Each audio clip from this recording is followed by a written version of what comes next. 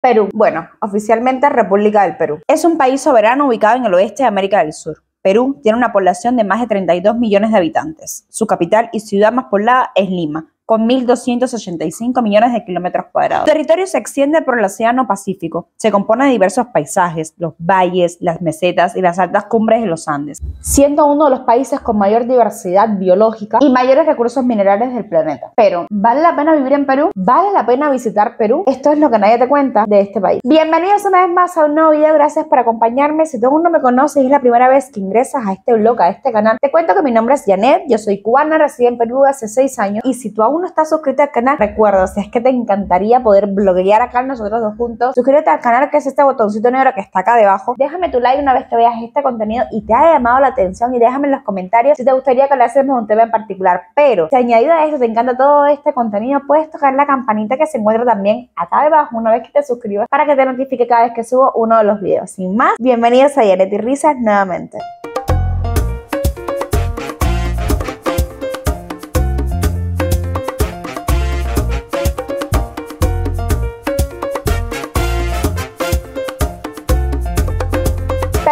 Un país que cuenta con selva, sierra, desierto, con todos los climas y estaciones del año. Es un país que logra ser autosustentable por la diversidad en cuanto a su tierra y producción. Es el tercer país más grande de América Latina. En los últimos años, la economía peruana ha tenido un nivel de crecimiento notable respecto a otras economías del mundo, solo comparable a China. Tiene un índice de desarrollo humano alto. Según el directorio ejecutivo del Fondo Monetario Internacional del país, se ha convertido en una de las economías de crecimiento más pujante y más estable de América Latina. Sin duda alguna, Perú es un país con muchísimo potencial. ¿Qué le falta? Pues nada, un gobernante que tenga todas las ansias, todas las ganas de sacar y explotar toda la diversidad que tiene este país, todos los beneficios que cuenta este país. Sin duda alguna es uno de los países, inclusive, que tiene mayor diversidad con un Producto Interno Bruto, con un PIB más alto, que inclusive muchos países que son desarrollados actualmente y que son primer mundo. Pero a pesar de todo esto que te he conversado, te digo una cosa, nunca vengas a Perú, nunca, jamás, de los jamás se te pase por esta cabecita venir a Perú. Ya te voy a contar mis razones.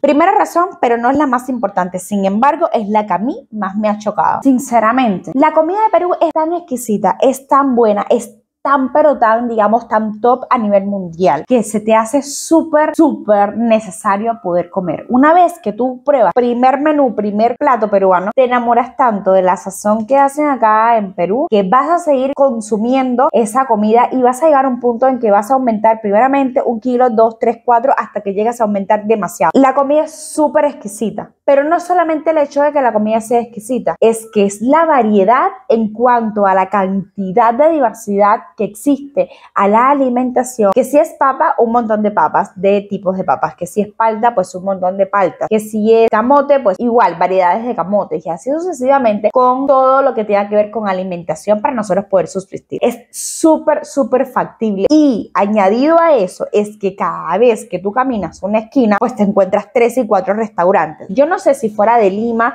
también me voy a encontrar esto, pero cuando yo visité Iquitos hace seis años atrás, pues te cuento que es lo mismo súper económica la comida. Un restaurante acá que es súper reconocido cuando nosotros lo llevamos de la moneda de soles, lo llevamos a dólares, pues te cuento que no es nada cara, es súper económica. Y eso te da el plus de que además de ser económica, pues es sumamente exquisita. Estamos hablando de que ahora mismo yo resido en la capital culinaria, gastronómica del mundo, pues obviamente te apetece y te recontra apetece comer. Es súper exquisita. Y eso te hace engordar. Te van a hacer engordar. No vengas a Perú. Segunda razón por la cual no deberías venir a Perú y te cuento que esta es más importante que la primera. Terminas comprando todo y te vas a quedar sin dinero. Ya te explico qué significa esto, pero mírame bien a los ojos porque es que sí. Es que acá cuando tú vas a comprar, mira, puedes ir al Emporio de Gamarra, que es uno de los más conocidos a nivel mundial, o puedes ir a cualquier empresa textil que obviamente pues te va a vender, te va a comercializar cualquier tipo de calzado, ropa o lo que sea. Como es un país tan comercial, existen tantas personas que son súper echadas para adelante y de la nada pues te hacen un negocio, pues resulta ser de que acá se ha convertido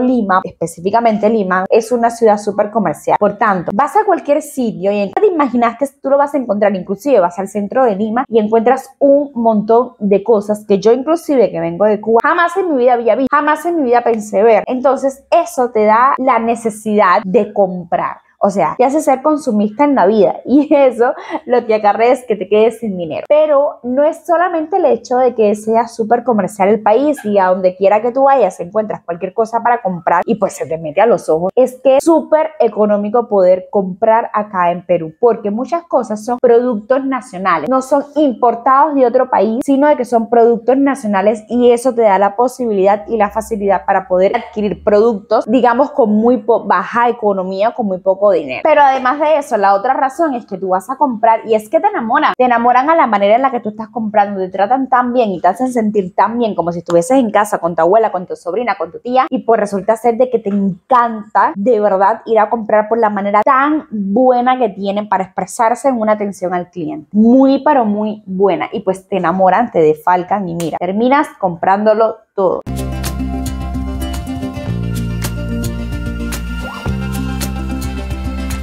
Tercera razón, y es que es un país que cuenta en un mismo territorio nacional con toda la diversidad de atracciones para tú pasarlo excelente. Es decir, por ejemplo, si tú vienes de turismo a Perú y tal vez si vas a otro país, pues si quieres bucear o si quieres hacer cualquier tipo de actividad turística, en otro país se te va a dificultar tener en un mismo territorio en el que tú estás yendo, poder encontrar todas esas atracciones turísticas para tú pasarlo excelente. Acá en Perú no, acá en Perú para nada, es que ya, ya te lo había contado, Perú cuenta con varios desierto, selva, sierra. Cuenta con todo, un todo en uno. Es como que cinco en uno, seis en uno, o sea, lo tienes todo en un mismo país y se te hace súper económico poder turistear. Súper, súper económico, al punto de que vas a querer conocer todo el Perú. Porque te cuento algo, si tú vienes acá a Perú y solamente te quedas en Lima, pues te cuento que estás cometiendo el peor error de tu vida. tienes que conocer todo, todas y cada una de las provincias. Porque te cuento que las provincias acá en la parte de la selva es una vegetación espectacular. Además del lagos que son súper reconocidos mundialmente, como es el lago Titicaca. Entonces, hay un montón, montón de atracciones. Si te encanta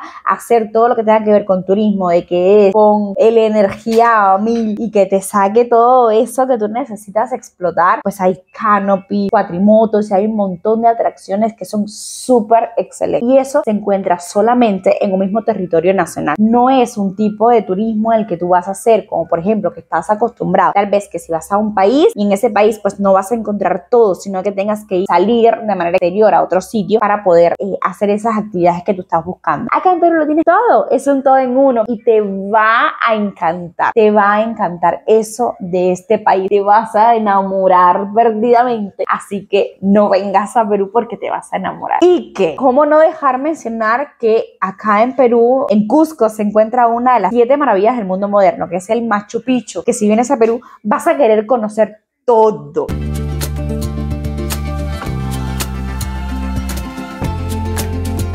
Quinta razón, y es que te acostumbras tanto a cómo es la vida acá, que si vas a comprar te tratan súper bien, que si vas a un sitio donde, no sé, quieres pasarlo con tu pareja, con tu hijo, lo que sea, la atención al cliente en cuanto de si es un negocio particular y es inclusive la misma persona, el dueño del negocio que te está atendiendo, la atención al cliente es excelente y te vas a acostumbrar a eso. Que digamos que vamos a países que no son tan consumistas, no sé, por ejemplo, algunos países de Europa que no es tanto así, la atención al cliente no es como es acá en Perú. Por ejemplo, acá en Perú tú vas a un sitio y, no sé, te quieres llevar un vestido y tú le dices, bueno, esta no es mi talla y ellos te dicen, no, tranquila, reina, o sea, ¿cuál es tu talla? La M, no, yo te la busco, yo te la consigo, tranquila. Y si no la tiene ella, pues le pide ayuda a su amiga o al fan de al lado. Tal vez en otros países no es así. En otros países no hay la talla, pues sabes qué, no hay la talla. Entonces no te resuelven el problema y no te vas a sentir a gusto. Entonces acá te acostumbras a ese tipo de vida, que la atención al cliente sea buena, de que si vas a un restaurante, pues comida sea de calidad, sea una comida con una sazón súper exquisita, súper rica y que añadido a eso sea súper económico el tema de la comida acá. Ir a un restaurante acá no es un lujo, ir a un restaurante acá es una cosa que es súper normal.